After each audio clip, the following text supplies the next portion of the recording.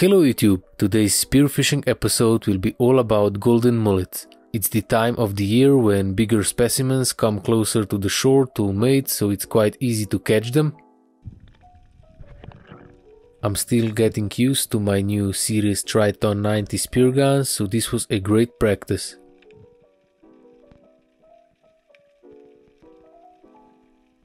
The first dive and the sun was behind my back so they didn't see me and came directly onto the spear gun tip.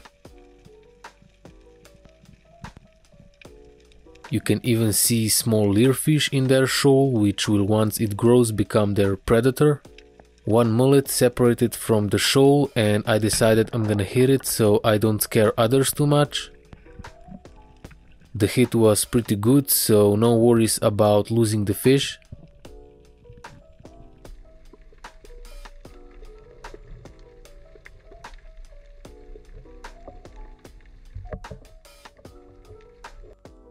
I always got the ground feeding fish like salpas and mullets right away because if you don't they will taste like shit.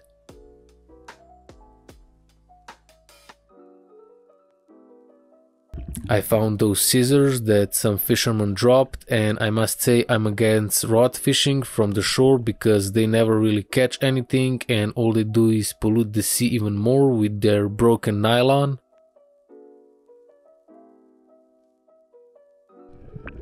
A few meters further I also found this beer can and I bet it was also thrown here by some dumb rod fisherman.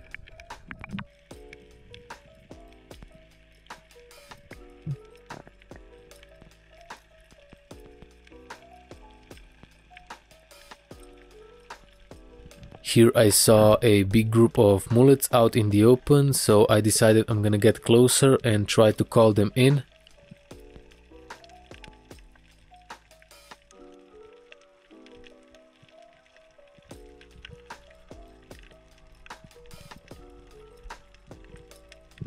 Their behavior really depends on the day as sometimes they will simply escape into the blue immediately, which was not the case here.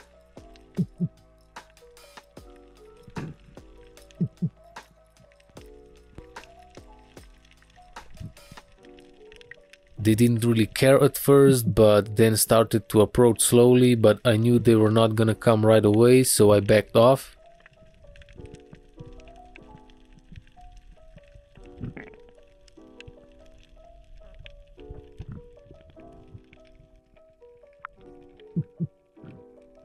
I was also hoping for some huge leerfish to come by so I can shoot it, but I haven't seen any wallet sized ones so far this year.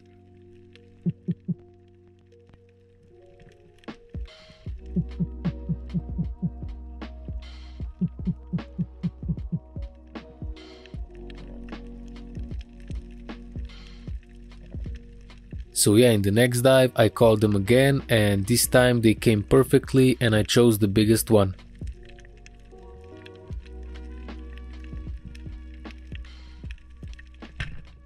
The heat was a bit high, so walking the dog technique was necessary again.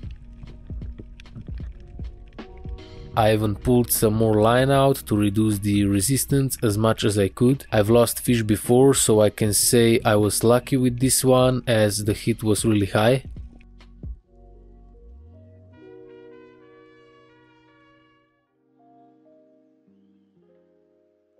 Here I managed to get above a couple of them and they didn't see me at all.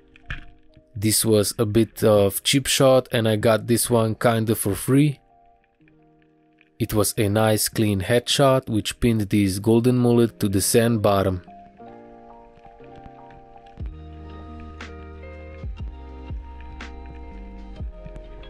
Again the shoal of small leerfish and mullets and I wanted to see if they will escape if I try to dive down and get a better angle and they did exactly as I thought. This sea bass approached perfectly, but I didn't feel like shooting it, so it can grow bigger and come back next time. There is also this mullet that was probably hurt by leerfish or bluefish.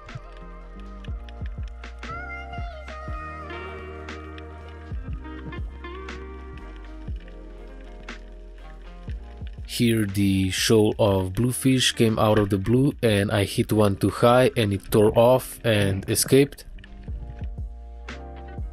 Some trash again and thinking about it I realized only the dumbest NPCs drink shit like that which makes them die faster so I'm glad about it.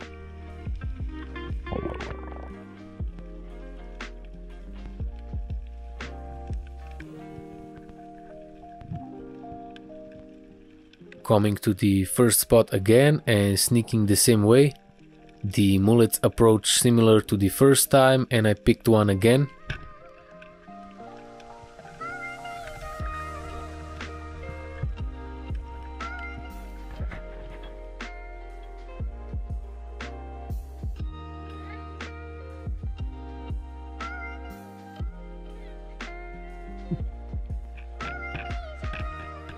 After the previous hit they escaped but the thing about mullets is they never go too far so I started slamming the spear gun against the rock to attract them.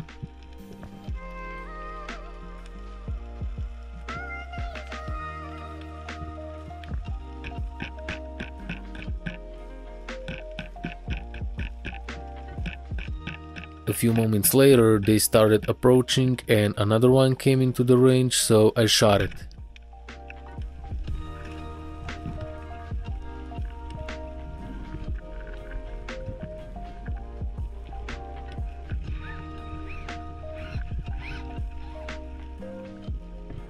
I used to look down on the mullets kind of like a low hanging fruit but recently I changed my mind and I will be showing you why in the next video.